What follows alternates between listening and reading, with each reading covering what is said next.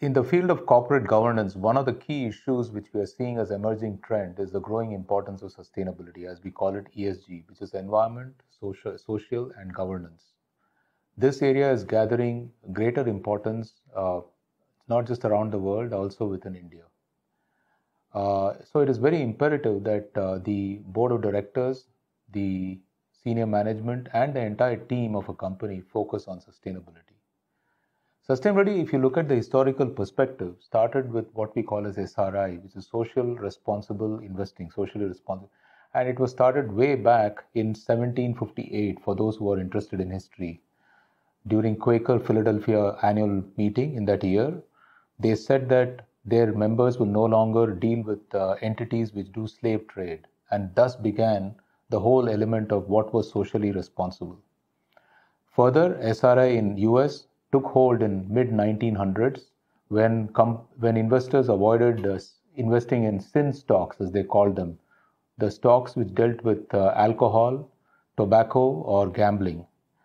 Then in 1950s in fact pioneer established a first fund which which was first one to be established on sri principles.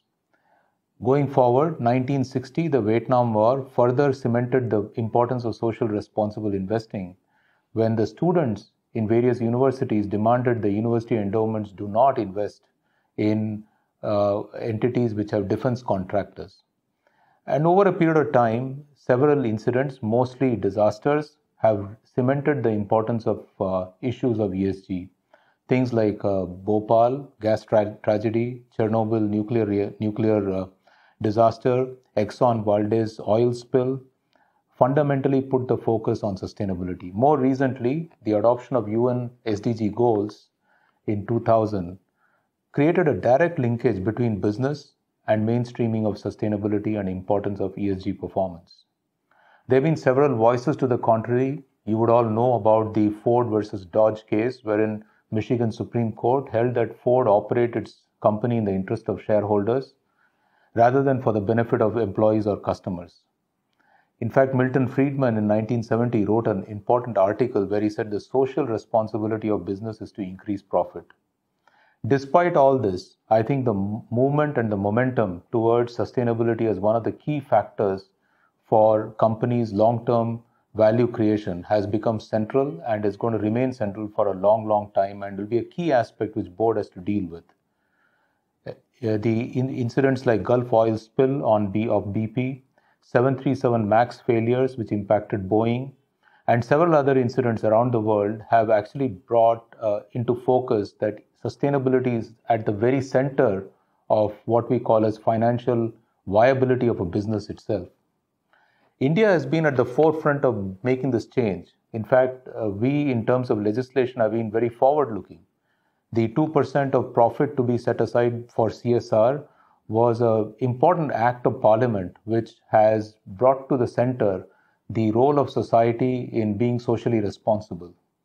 However, this area of ESG needs greater attention by board, by management, and I think it will, only be important that we sort of uh, spread awareness around this amongst investors so that the investors also pool in their funds to invest in companies which uh, are more sustainable.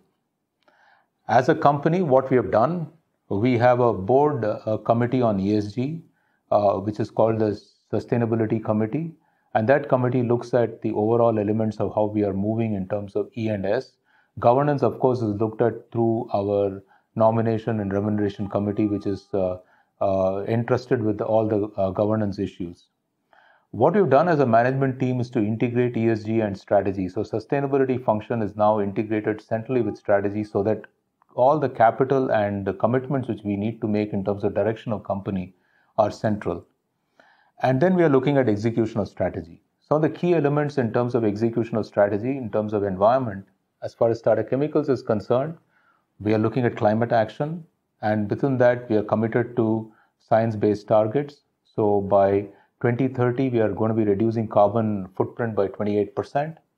In addition to that, we are looking at circularity. Increasingly, each part of our business is looking at circularity at the center of it. And this leads to conservation of water, conservation of resources, and very importantly, the fact that we are able to do more with less.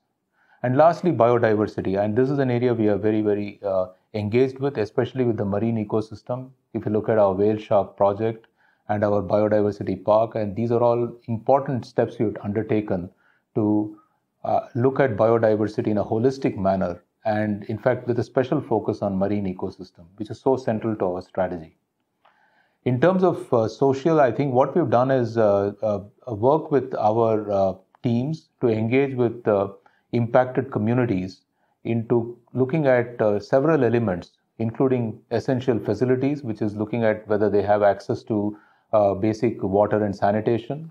Secondly looking at employment itself also focusing on employability, which means that we provide them the skills and training.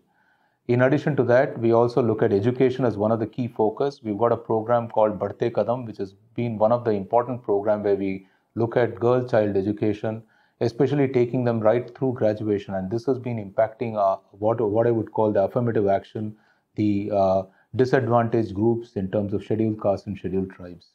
So holistically, we are looking at uh, impacting the society through our social uh, programs as well as through our environment programs in such a way that it is fully integrated with strategy of the company and company is able to sort of embark on this uh, in, with, with a holistic apo- approach which is supported by board and supported by all the shareholders. So in the end i would just say that sustainability as a core component of company's long term value creation is now central, is now very important, and must form a key component of our governance process.